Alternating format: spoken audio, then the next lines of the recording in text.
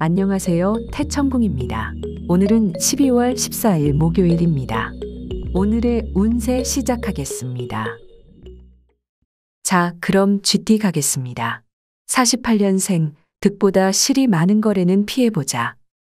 60년생, 보이지 않은 공부, 내일을 약속한다. 72년생, 쉬지 않던 노력이 빛을 발해준다. 84년생, 넓은 가슴으로 이해를 더해주자. 다음은 소띠 가보겠습니다. 49년생, 용기와 결정의 박수를 받아낸다. 61년생, 사랑과 관심으로 기운을 보태주자. 73년생, 엇나가는 기대, 방법을 달리하자. 85년생, 다독이는 위로의 기운을 다시 하자. 범띠 가겠습니다.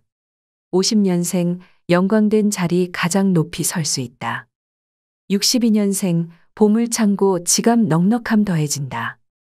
74년생, 아름다운 결과 꽃가마를 탈 수 있다. 86년생, 욕심이 아닌 현실과 타협해보자. 토끼띠 가겠습니다. 51년생, 둘은 있을 수 없는 선물을 받아낸다. 63년생, 눈에서 불이 나는 인연을 볼 수 있다. 75년생, 거래나 흥정의 타협점을 찾아내자. 87년생, 굳은 날은 지나고 무지개가 떠준다. 용띠 가보겠습니다. 52년생, 누구라도 정겨운 친구로 삼아보자. 64년생, 벌서는 아이처럼 반성이 필요하다. 76년생, 쉽게 하지 말자, 수고를 보태주자. 88년생, 자존심을 접어야 목표를 잡아낸다. 뱀띠 가겠습니다. 53년생, 사랑과 관심의 보답을 안겨주자. 65년생, 구름 타는 기분, 신선이 부럽지 않다. 77년생, 용기 있는 도전이 큰 웃음을 불러온다. 89년생, 쉽지 않던 도전의 대미를 볼 수 있다. 다음은 말띠입니다. 54년생, 주변 힘겨움의 언덕이 되어주자. 66년생, 놓칠 수 없는 기회, 점점 더 좋아진다. 78년생, 안 먹어도 배부른 자랑이 생겨난다. 90년생, 예외가 없다. 지갑을 묶어야 한다. 양띠 가겠습니다. 55년생, 말 문 터지는 만남, 눈빛이 오고 간다.